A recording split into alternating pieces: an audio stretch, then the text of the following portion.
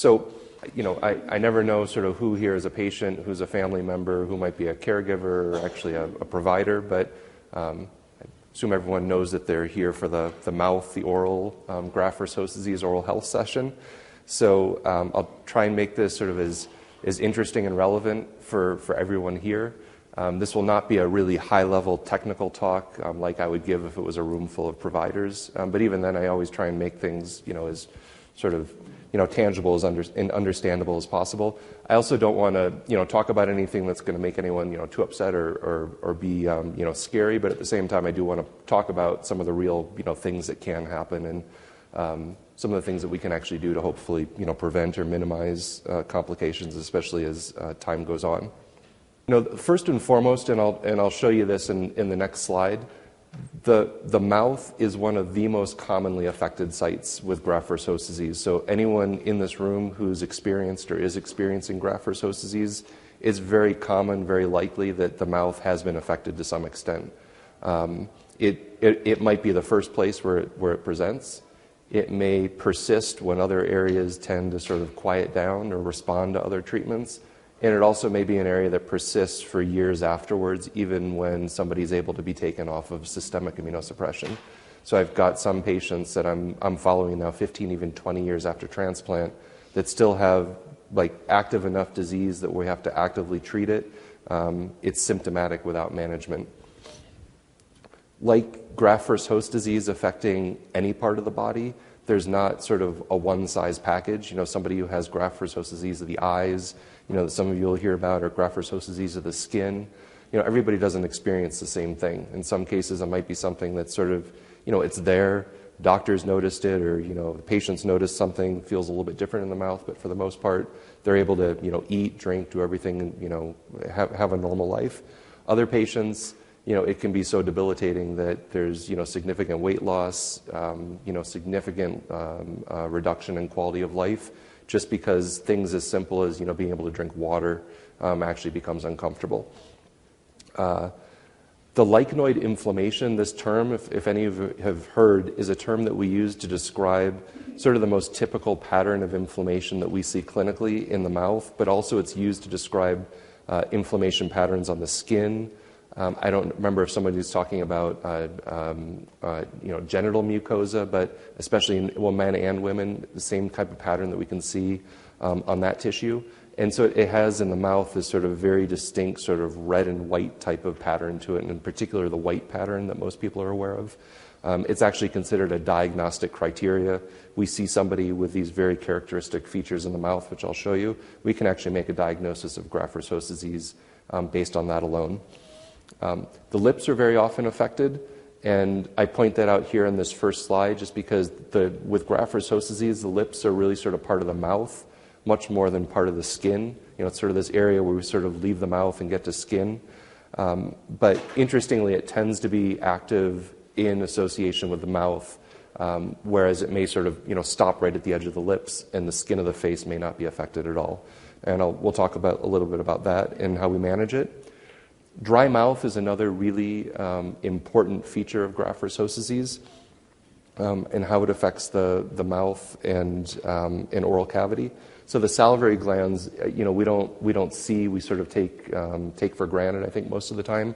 But we have major salivary glands. They're sort of here in the cheek, um, underneath, um, underneath the, uh, the mandible as well, sort of under the tongue. Um, and these get targeted um, by the graft versus host disease, actually very similar to the way that the glands of the eyes can be targeted. And it causes basically um, uh, changes in the saliva, but also decreased saliva. And this can cause um, some significant problems in the mouth, in particular, increasing the risk of cavities. So I'm, I'm sort of laying the groundwork for a lot of things that we'll talk about more specifically in just a minute, but this is um, obviously Im- important area where we can actually do a lot to help prevent um, complications and eventually prevent tooth loss. Um, and then finally, and this is something that you know I never want to put too much emphasis on, but it is important to be aware of. I mean, anyone who you know has any involvement with a with a patient with graft versus host disease in the mouth really anybody who has, you know, who's, who's managing, dealing with a patient who has any history of graft versus host disease is unfortunately there is this increased risk of cancer just related to um, the history of the graft versus host disease, the treatments for the graft versus host disease, and the mouth is one of the, new, the most high risk sites. So, what that means is that this is still a very low risk event from the standpoint of anyone who's gone through transplant, even someone who's had very active graft versus host disease in the mouth. The likelihood of developing cancer is still very low, but compared to the general population, it's actually very high. It's just that when you have risks that are very low, the relative risk, sometimes it's hard to sort of reconcile in, in someone's head. So nobody should consider that they're at very high risk for cancer. But again, it's something that we always want to be aware of so that if there's changes, we can actually identify um, and do something early. So I mentioned that the mouth is one of the most common sites. This is, this is data that's been um, reported for many years now. There's actually um, updated data as well, but it really hasn't changed at all. So I, I like to refer back to more classic work. Um, and what this shows is um, the, the, areas of involvement and the, and the proportion of patients with involvement.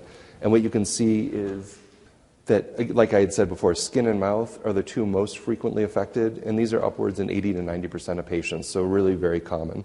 And then as we get to other areas, they tend to be sort of less frequently affected, although, again, in a, in a large population of patients with graft versus host disease, we see a combination of you know, all these areas being affected. So with the mouth, and, and similar to the way graft versus host disease is really anywhere in the body, it, it resembles other diseases that we otherwise see. So in my sort of non-transplant, non-cancer population, I see patients with a condition called lichen planus, which is very common. Um, and it really looks almost identical to the way chronic graft versus host disease will look in the mouth with this sort of pattern of leukocyte inflammation. So um, I talked about these white sort of lacy changes, um, oftentimes red changes as well. And then this is all ulceration. Um, ulcers tend to be very painful. So some of you may be familiar with, you know, a canker sore, you know, a tiny little, maybe the size of like, you know, the back of a pencil eraser and that can cause really significant pain. Imagine this is, you know, this is all ulceration, so um, can be, you know, potentially be a very uncomfortable condition. Uh, Sjogren syndrome, it's an autoimmune condition that, that affects the salivary glands and the glands of the eyes, the lacrimal glands. Um, again, in the context of this, we see a, a condition that almost exactly resembles it. Um, and then scleroderma, again, uh, a potentially very serious autoimmune condition um, that also can have the same type of effects with graft versus host disease um, affecting the skin, the tissues sort of under the skin, but sometimes the skin around the face and the neck. And sometimes even inside the mouth, we see um, that same type of sort of tightening and fibrosis. Not very common, but I will talk about it a little bit towards the end. Um, so, with all the potential ways in which the mouth can be affected, it can have potentially a, a, a quite profound impact on quality of life you know, simple things like being able to um, eat, eat comfortably, drink, um, brush your teeth, um, you know, just you know, basic activities where it can, where it can impact. Um, and, and, importantly, the mouth oftentimes um, not only may not respond as well to systemic therapies as other areas might, but really it just it responds very well to more local, sort of focused, um, localized therapies. So whenever possible, we really try to, um, to, to, to, take advantage of, of you know, the various um, treatment modalities that we have. And these are just some clinical images, just to sort of orient everybody again. So here again, we see these typical sort of white, lacy changes. In some cases, it can get actually quite thick. It almost looks like it's um, like a plaque-like formation. Um, you can see how the lips are very prominently affected here, um, but really just to the edges of the lips.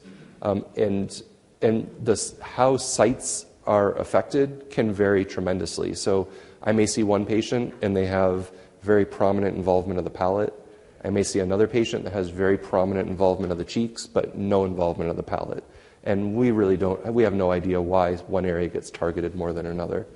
Um, another common feature, um, which I'll talk about a little bit um, when I talk about the salivary gland component, are these mucoceles or little sort of spit bubbles that'll pop up on the roof of the mouth. And any of you that have you know, experienced this condition have probably experienced this to some extent. Um, this is related to minor salivary gland tissue that's actually all throughout the mouth. Um, and these can get sort of plugged and inflamed and cause these little um, blisters of saliva. They don't actually tend to be very painful, but they can, they can be um, pretty alarming when they're all over the place. Um, again, we, see, we saw this in the other picture, but another example where we have this sort of focal area of ulceration. um, and the cheek or what we call the buccal mucosa. Uh, and then, you know, surrounded by these very prominent red and white changes. And again, just you can see, you know, very similar involvement in, with the tongue, um, but also the lips. I've, I've almost said this, I think, verbatim already, but I, I like to include this quote because it was, um, you know, written sort of in the early days when sort of some of the first literature was first coming out describing um, graft versus host disease in detail. And, um, and this was from the, the group in Seattle. Um, Dr. Schubert is um, an oral medicine specialist, someone I've, I've known for many years and, and still sees patients there. Um, but you know, they said, well, oral lesions are most common in patients with extensive chronic GVHD, so that means where you know many many um, areas tend to be affected, not just one area. Um, patients in our and other centers have been described to have limited disease involving only the oral cavity. In addition, we've noted that the oral cavity can be the site of persistent activity after resolution of chronic GVHD affecting other sites. So this really can be sort of the first um, the middle and sort of the last um, area of involvement, and sometimes it might be the only area of involvement. I know you have handouts, and I'm not going to go through this in a lot of detail. Um, this was a this was a, a, a figure that we had um, published a few years ago in this in this review article, but we can sort of think of, as I've already sort of outlined, we can sort of think of the disease in the mouth as three different diseases. One is the, the disease affecting the mucosa, and the primary symptom with that tends to be what we call sensitivity. So even with one of these mouths that I showed you that look like they would have to be incredibly painful, if it were me, I would actually be fine right now talking if my mouth weren't dry. Um, and I, I, wouldn't necessarily have a dry mouth just because of the inflammation. Um, but as soon as I went to have breakfast, you know, I tried to eat those potatoes, I'd probably go from being as comfortable as possible to you know tears coming out of my eyes just because of the texture, let alone the flavor, the little bit of um, you know spice, um, and things that we would never even think would bother somebody immediately can become something that they, they just can't even tolerate. So the idea of you know going out to dinner, let alone having someone else cook for you, going to somebody's house for a dinner, um, you know, ends up becoming really um, very difficult. Uh, with the salivary gland uh, disease, it's much more the, the dry mouth, the problem with um, increased risk of cavities. With a dry mouth, there's also increased risk of recurrent um, yeast infections in the mouth. And um, I think many of you know that's a, you know, a common complication also related to just systemic immunosuppression. Um, but some of the symptoms can be similar. So sometimes when somebody just has a very dry mouth, the mouth can actually become very sensitive, even though we don't see the typical um, lichenoid sort of lacy inflammation patterns. Uh, and then with the, with the sclerotic or the scleroderma um, form, this is generally you know, tightness, difficulty opening the mouth, um, difficulty being able to sort of just do normal things like brush or you know, receive dental care. Um, in rare cases, I've seen patients where similar we can see with the skin where there can actually be sort of um, you know, uh, deep inflammation into the, into the muscle and sort of chronic um, spasm of muscles, which can be very painful. But again, this is not very common. So with the mucosal disease, again, that lichenoid pattern of inflammation is really classic. Um, the cheeks and the tongue are most common. Lips are very, really frequently affected. Again, the, the sensitivity tends to be the, the main feature. Um, this affects eating and drinking, in particular um, toothbrushing. Um, simply using a children's toothpaste rather than an adult toothpaste for most patients is enough to make things comfortable. So as long as there's not a minty flavor or any sort of real strong flavor, there's also, you know, adult um, formulated toothpaste like the Biotene toothpaste, some of the Tom's toothpaste um, that can also be tolerated well. Um, in some cases, some patients may note that the mouth seems tighter than normal, um, may seem like they can't open it. It's not because there's um, the sclerotic changes like we talked about, but simply those white changes actually make the tissue thicker than normal. And so it actually will restrict opening a little bit. And simply by treating the mouth, if we can treat effectively, it can actually treat that very well. So, for managing the mouth, topical steroids, just like the way we treat the skin with topical steroids, um, tends to be um, very effective. We can use gels and we can use solutions. In most cases, especially for the cases I showed you, we would tend to use um, solutions just because they're easier to treat the mouth. You can put it in, you know, just put it all in your mouth, swish around everywhere. Um, we generally recommend upwards of five minutes of swishing because the contact time is really important. Otherwise, it's just going on for a minute and then it gets washed away, and then, and then whatever saliva the patient has basically washes everything else away. Um, the solution that we typically start with, and I think is used most widely throughout the, this country, is called dexamethasone. Dexamethasone, it's not actually approved for topical use. So this is a, a, steroid that's provided in a solution form so that somebody who otherwise can't swallow pills, for example, little children, can swallow this nicely flavored medicine. Um, and we repurpose that as a topical agent. Works very well. It's widely available, so basically, no matter where somebody lives, it's very easy to get from the pharmacy. Um, it works well for most patients, but not for all patients. So sometimes we have to go to these other agents um, that I have in, um, in italics. I have them in italics because they require compounding. Um, these are not commercially available. I can't just prescribe clobetasol as an oral solution for somebody. Um, but again, for any of you that are familiar with some of these names or have treated skin disease, um, you know, we use generally the same medications for different areas. Um, for the skin, we have many formulations of clobetasol. Um, for the mouth, all we have are, for example, um, a gel formulation, which we can use to treat, you know, one area focally. Um, sometimes I'll use gauze to, you know, maybe treat an ulcer very specifically. but even that is usually in combination with doing a rinse as well. Tacrolimus is um, also available topically. Um, there's a, a, commercial formulation called Protopic.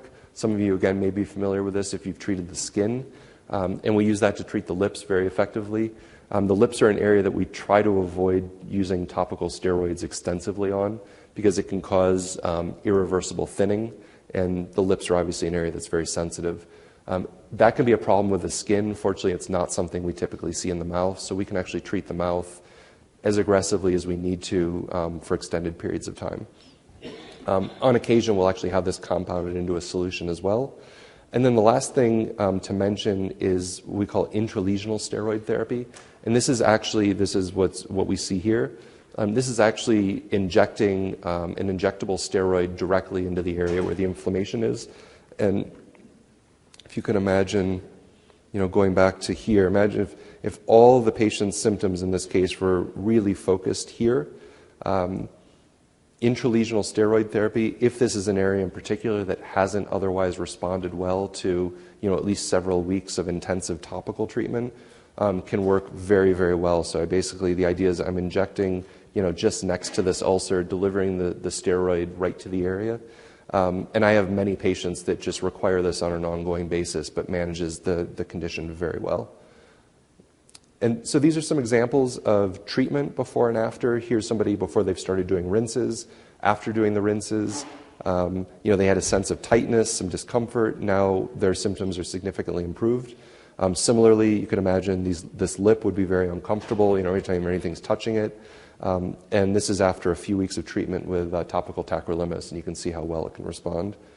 Um, Really, the, the, the, primary complication that we see when we're treating the mouth, especially using topical steroids, is the risk of developing a secondary um, yeast infection or thrush or candidiasis. Um, use of a topical steroid increases the risk because it locally suppresses the immune system in the mouth. Um, patients who are also on systemic immunosuppressive therapy, it's sort of an additive effect, so they're already at risk to some extent. To some extent. And then if the salivary, um, salivary glands aren't functioning completely normally, it's potentially another, contributing factor. So this is a fairly common complication, but one that we can actually treat very easily, um, in most cases actually prevent from developing once it's happened. Candidiasis, I mean, I, I, mentioned these already. The other, the, other, the other potential risk factor is if somebody has a removable denture, that can also contribute to um, the risk of the infection coming back. So disinfecting the denture on a regular basis can be very important, making sure that it's out at night. Um, management is with antifungal therapy. We have topical and systemic agents. I tend to favor systemic agents. There's always some potential interactions um, depending on what systemic medication somebody's on, but especially with um, uh, especially with fluconazole, which is the most commonly used systemic uh, antifungal agent that risk is relatively small, and it's something that we can monitor. Um, for the prevention, in most cases, I can have somebody on a once a week dose, sometimes twice a week, and that once or twice a week dose will not typically have a significant impact on interacting with other medications, but it can be very effective in keeping from the infection from coming back. Um, and this is something that, you know, once I have a patient who's had, you know, thrush come back a couple of times, we'll pretty much go to a, to a prophylaxis. The other infection that's, that's fairly common in, you know, patients after transplant is um, herpes simplex virus. So there's, you know, uh, um, herpes cold sores that, um, you know, I think most people are, are aware of. Um, the primary risk factor is immunosuppression. So, you know, most patients, when even even um, even fairly young patients, you know, this is an infection that most people are exposed to in childhood, um, teenage, early adulthood. Um, by the time we're 50, 60 years old, the overwhelming majority of the population is, has been exposed to this virus. Once you're exposed, you have it forever. It can reactivate under certain conditions, usually um, stress, but in particular, um, suppression of the immune system. And important to remember that, you know, for somebody who's taking their acyclovir regularly, which is supposed to suppress this, we can still, if there's enough um, suppression otherwise, get what's called a, a breakthrough infection. So, um, you know, you're taking the medicine, but you still develop an infection, and so we have to go up to a higher um, dose of medication or potentially change the medication. And so, it's you know, it's not always the easiest diagnosis to make, especially when somebody has generalized graft versus host disease changes. But once, if somebody develops sort of fairly acute onset, really, really painful symptoms, especially just painful at rest, um, you know, there's a little ulcer here, there's an ulcer here. It probably looks very subtle to you. It was very painful for this patient, and also this sort of funny irregular ulcer here um, on the um, inner, inner aspect of the lip without sort of any typical associated um, white changes like we talked about before. Salivary gland disease. Um, so the important things to realize is, is that you know saliva isn't purely just water. I think we tend to think of it that way. It you know feels like okay we have, we have wetness in our mouth, but saliva and I'm not going to go through this. You have this in your in your slides. It's a somewhat of a technical table, but it talks about you know all the various properties and the components of the saliva. So it, it provides lubrication. It has antimicrobial. It actually controls bacteria and fungus in the mouth. Um, there's growth factors, you know, various um, um, proteins in the saliva that we don't even really understand exactly what it does. Plays a role in sort of maintaining mucosal integrity. Plays actually an important role in maintaining the health of the teeth. Um, has these what are called buffering capacities and um, actually remineralization, so that just like bone, the teeth are sort of in this constant flux of being sort of broken down and built back up. Um, and importantly, like I mentioned earlier, there's potentially not just that there's not enough saliva, but the composition has changed. So in some cases, a patient may not even notice that the mouth feels dry, and yet over a period of time, we may actually start to see changes where we can see that there's cavities developing. Um, typical symptoms are going to be dry mouth, you know, some, some discomfort, sometimes difficulty eating and swallowing, just because saliva plays an important role in being able to sort of chew up food and swallow food. Um, but what I'll show you in the next slide, and what we're most concerned about is the risk of um, caries, dental cavities developing, and they tend to follow a fairly um, distinct pattern. Areas where sort of food and debris would tend to collect, like along the gum lines and in between the teeth. Um, and then again, this is an important factor for recurrent um, yeast infections in the mouth. So, what you see here is very early changes, but you can see it has this almost like a frosted appearance along the gum line. And this is what demineralization looks like. So even though there aren't actual cavities formed at this point, the, the, um, the hard tissue is actually com- very undermined.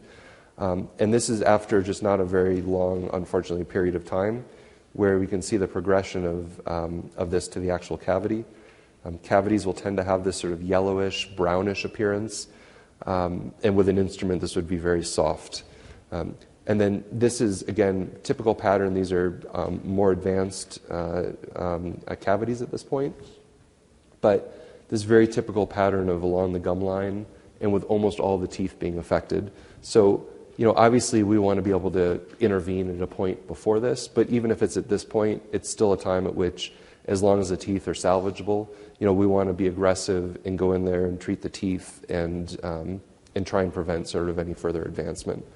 So we have ways to treat the, um, the salivary gland disease from sort of a symptomatic standpoint. Um, there's actually some medications that can help um, stimulate the saliva, but you know, making sure that there's just good hydration. Um, things like just sugar-free chewing gum or candy can help just keep the saliva flowing. Um, brushing and flossing Um, having a diet that doesn't promote uh, dental caries is important. Avoiding, you know, sugary foods, sticky foods. Use of fluoride, both sometimes being applied at the office, like something like fluoride varnish, but also prescription fluoride at home. Um, we always struggle a little bit about how much to push this on sort of all transplant survivors because we know that not every patient's at the same level of risk. And it's difficult to sort of keep up with all of these sort of preventive um, uh, you know, instructions that you're given. But for somebody who has significant dry mouth symptoms, um, any evidence that there have been changes already with the teeth, we obviously um, you know, really reinforce this. Simply seeing the dentist on a regular basis, um, bite wing radiographs for screening. So these are um, this is a bite wing radiograph. This is you know unfortunately showing a lot of dental disease. This is this is all decay that we're looking at. But we can do these you know early on, six months, 12 months after transplant. And if we actually see someone who's starting to develop cavities, we know that this is someone that we need to pay, pay more attention to. This is just um, one slide just to talk briefly about um, the changes that can affect the mouth when it becomes sort of um, tight or fibrosed fibrosed. Um, so here, here what you're looking at is a patient who's had previously actually very active graft versus host disease in the mouth. They would have had, you know, sores, ulcers like we saw before.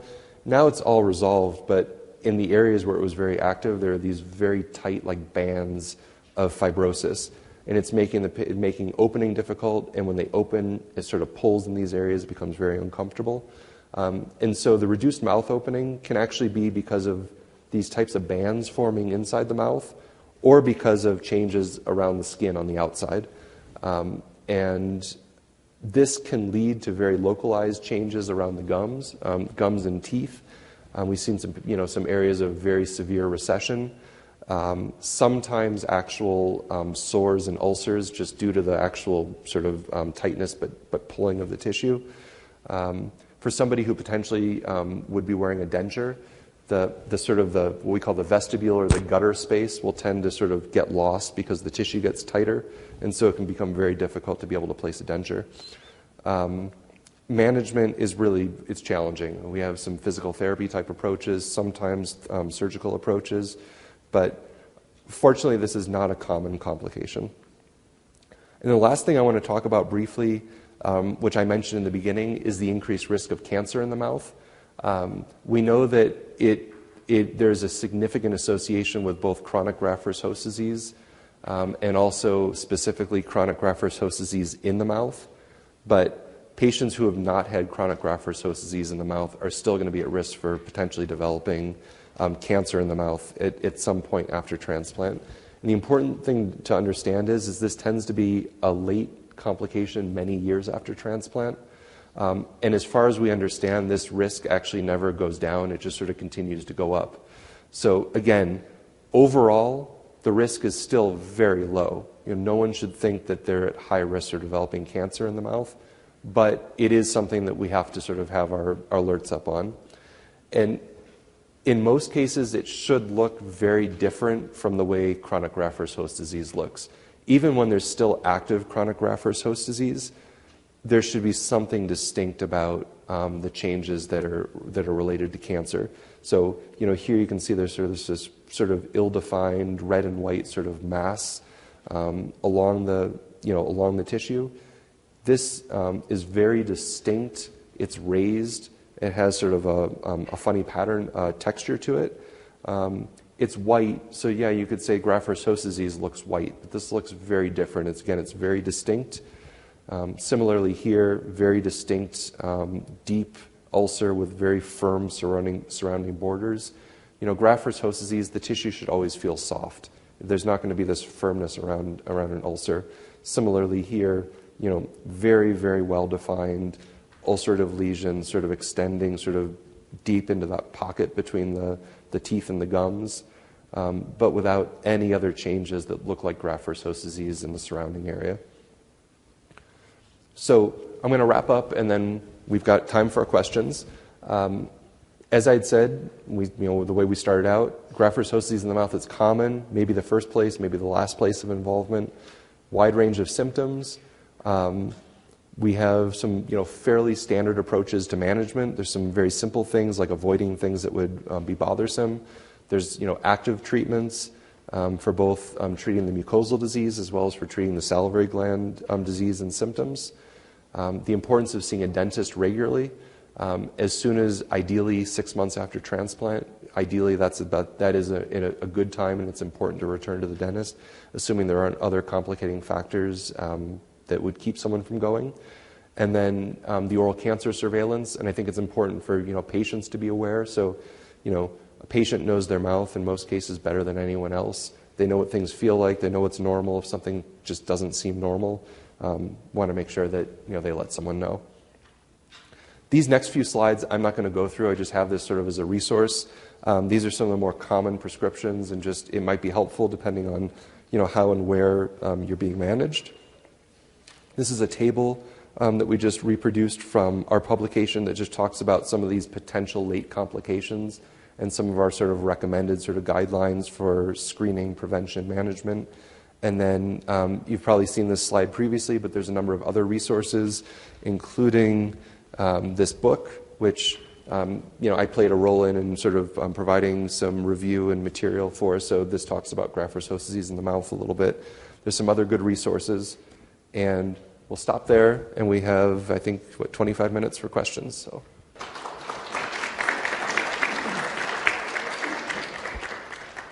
Thank you, Dr. Yes, Treister. And we're just opening the floor to questions. And if we ask that you could speak to the mic, and if you can't get to the mic, we can bring the mic to you. So, so very good question. Um, so I, I, try to serve as a resource, and obviously we you know try and put materials together like this, and um, you know publish materials and so on. The reality is, is, is you're probably aware most dentists will not know a whole lot about stem cell transplantation. My hope would be is that especially once they have a patient, that they take that opportunity to spend a little bit of time and seek out some resources. So, for example, I believe that paper that I referenced a couple times is uh, like anyone could go to you know Google it, look it up, and download it because it's it's available you know open.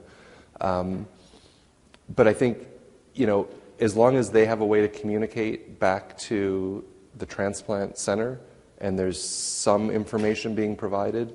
You know, every center works a little bit differently. Most centers, unfortunately, don't have at least as strong of an oral health resource as we do. Um, but obviously, you know, we have resources. We have resources on our website. Um, I would even say, you know, someone could certainly come to our website even just to look for those resources. Um, but the reality is, you know, for the most part, the dental aspect of things, it's really like the basic principles of dentistry don't change because you or somebody's had a transplant.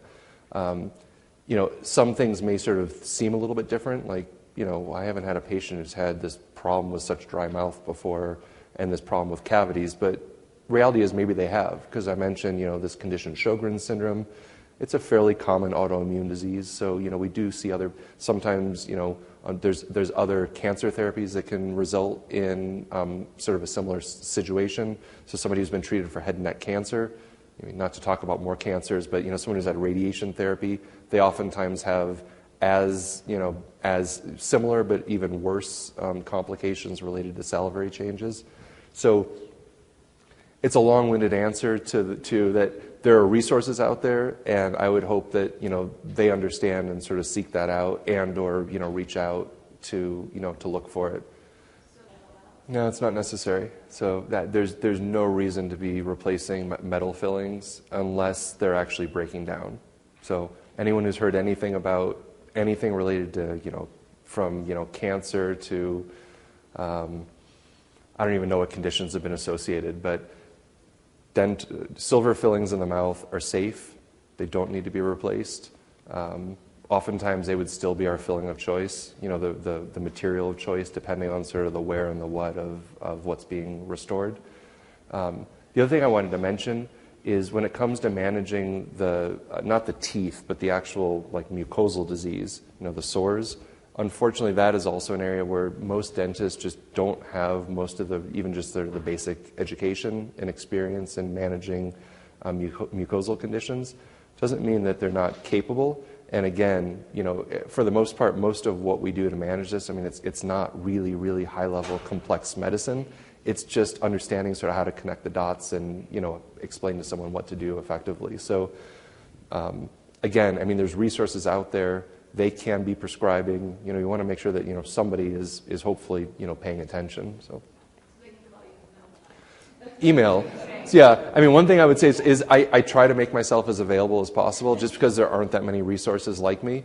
Um, by all means, if somebody gets, you know, has a way to get a hold of me, I'm happy to, to receive emails. But also, you know, I make myself available through the BMT Infonet. So probably four or five times a year, we, I get a question that's directed, you know, that's come through whatever the portal is to BMT Infonet and then to me. So it's, it's kind of a nice way of doing it because I think that way they know also that, you know, they're serving as that sort of clearinghouse resource at least. So it's a, it's a good question. Um, you know, depending on where you live in Colorado, my guess would be is that the, it. What's that? Yeah, I, it's. Yeah, it, the, you, you're probably not going to find a dentist who like specifically. I mean, you're not going to find someone that has you know my type of training, for example, you know, oral medicine training, out in anywhere except for Denver. And even in Denver, there's you know one or two people. So it's it, these there's there's not a lot out there. Um, again, they should be comfortable with you know the basic management of things, and at least the, the more basic um, aspects of managing the dry mouth uh, aspect of things, and or working together with the transplant team. So, for example, one of the medications I didn't I didn't um, it's it's on the list, but I didn't talk about specifically when I talked about what are called sialagogues. But some of you may be aware these. There's two medications we have available. Um, one is called pilocarpine, and the other one is called cevimeline. And these basically stimulate the salivary glands to produce more saliva. They're not immunosuppressive. So it's not like you're adding on another immunosuppressive medication. It's just doing a very specific you know, action. Um, sometimes that could be prescribed by a dentist. It could be, or it could be prescribed by a primary care physician, or it could be prescribed by a transplant physician probably more often than not in the transplant world, it's going to be prescribed by the transplant physician. Whereas at our center, you know, our, our team is generally writing those prescriptions, but a dentist can write a prescription for that. So even as a like a patient being an advocate, you could say, you know, I was at this talk and I've heard about this medication pilocarpine, and they say, oh yeah, you know, I've never even prescribed it before, but seems reasonable, and uh, you know, let's give it a try. I mean, there's nothing that will actually stretch it like that. I mean, obviously, I mean, I think, you know, basic trick is at least putting some Vaseline to make it more comfortable. Um, also, um, depending on like what is being done, the length of the procedure, there's something called a bite block that can just make it a lot more comfortable for you. So even if it's not opening it wider, it's it's easier to keep it open for longer. So it's like just a little triangular piece of rubber that goes between the teeth and kind of holds things open. But if it's really limited and it's, you know, like for instance, you were able to open a certain amount to, you know, eat or do something, and now it's it's becoming difficult. There's, you know, there's some simple sort of stretching exercises. There's, you know, sometimes, you know, people do just something as simple as using, you know, tongue depressors, popsicle sticks, and sort of, you know, stacking them and sort of adding them in between to get a certain opening. Um, there are some physical therapy devices too. I didn't go into any detail. We don't use them very often, but um, there's actually devices that are, you know, like bioengineered to open the mouth. Right? But again, uh, most of these treatments, I mean, we don't have we don't have you know big studies demonstrating you know who's going to benefit, who's not going to benefit. So, so you probably don't want to hear this, but there's no substitute for brushing. So if, if that's really what you're trying to accomplish, and I would say for anyone, I mean, for any of my patients, especially that I really feel are at risk for um, the dental problems, it's try to brush after every meal even if you're doing a somewhat of a cursory brushing and you know that you spend longer, you know, in the morning and at night, you're still doing something. So brushing, there's no substitute. Um, other than that, there's, you know, a rinse. If, if the mouth is, you know, really dry and sort of food tends to collect, then certainly a rinse would be helpful.